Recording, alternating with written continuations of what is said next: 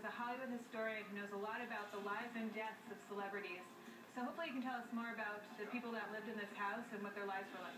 Do you know if either Orson Welles or Sidney Toler passed away in the house? No, neither of them did. Uh, Welles died in another house on Hollywood Boulevard, and Toler died in another house in Beverly Hills. Okay.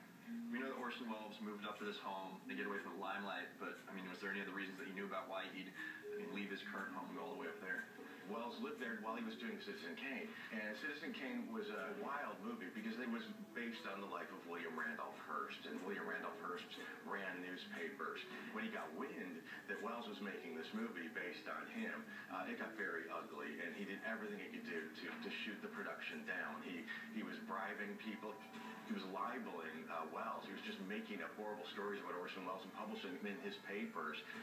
And all the things that Hearst was doing to Orson Welles, it was while he lived in the house? Yes, when Welles was living in that house, he was going through a really difficult time professionally. So I can imagine the emotional turmoil while he was trying to get this film done was, was quite great, and it, and it was while he was in that house. Interesting.